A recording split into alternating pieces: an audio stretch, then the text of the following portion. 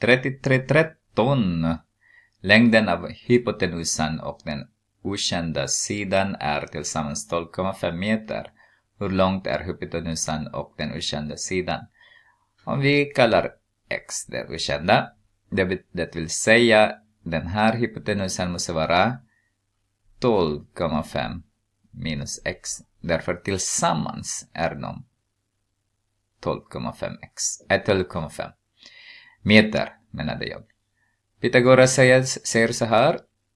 Eh, x i kvadrat adderar med 7,5 i kvadrat är lika med 12,5 subtraherar med x i parentes i kvadrat.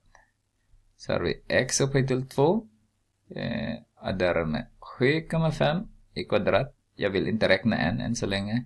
Så har jag 12,5 i kvadrat minus 2 gånger 12,5 är 25 x.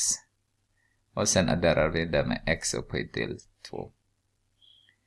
Eh, om vi byter allt nu då, som ni ser, att minus x där, minus x upphöjt till 2. De tar varandra.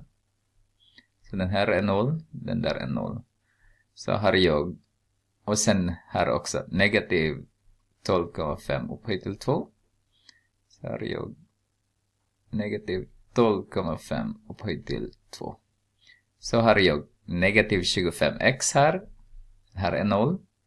Så har jag 7,5 upphöjt till 2. Eh, minus 12,5 upphöjt till 2. Om vi dividerar båda led med negativ 25, negativ 25, så får vi bara x i högerled nu då.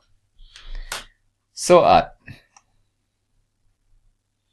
parentes säger jag, 7,5 upphöjt till 2 minus 12,5 upphöjt till 2 eh, dividerar vi med negativ 25.